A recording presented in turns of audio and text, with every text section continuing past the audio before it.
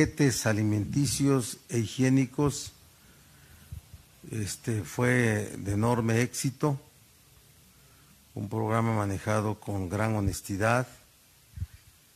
Este, se llevan entregadas porque se siguen entregando. 400, casi 480 mil despensas, no 500 mil, se va a llegar a 500 mil o algo así, ¿sí?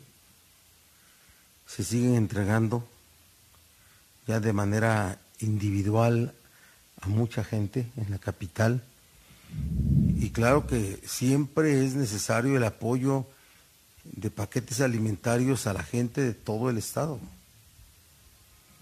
Y claro que necesitaríamos invertir más recursos. Claro que sí. Estamos en una crisis financiera como nunca se había vivido. Nunca.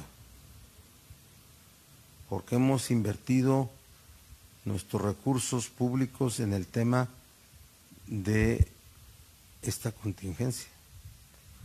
Las despensas o paquetes alimentarios higiénicos es parte de la estrategia en la crisis COVID. ¿Sí? Y sirvió de mucho. Llegaron hasta los lugares más alejados. Tenemos videos, fotografías de despensas que fueron llevadas hasta en mulas. Entonces, vamos a seguir incentivando esto. Es permanente, es permanente. No va a parar, no va a parar y me siento muy, muy satisfecho por este programa que se desarrolló. Seguimos con Martín Gutiérrez, el Heraldo.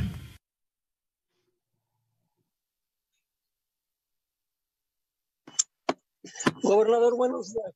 Eh, preguntarle si a un año